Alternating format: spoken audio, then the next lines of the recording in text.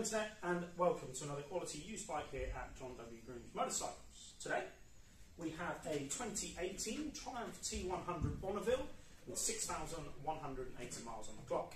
As you can see, this is not your normal Triumph Bonneville. This is actually what they call the Spirit of 59 edition. There's only 59 of these made, and this is number three. You can see that with the annotation on the tank. Um, alongside that, the bike does come riddled with extras as well.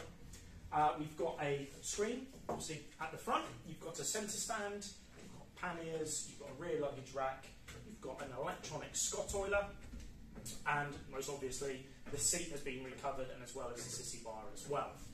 This bike uh, does not have any evidence of it being over. It's nice and clean, so there's no marks on the bar end. Engine cases are all clean of any scuffs or corrosion. Uh, the tank has no scratches on, etc. It has been well looked after, as you'd expect with a limited edition bike. If you would like any more information, please feel free to give us a call on 01435 862 466, or feel free come in and see the bike in the flesh. And if you were wondering, yes, the number plate will be coming with the bike as well.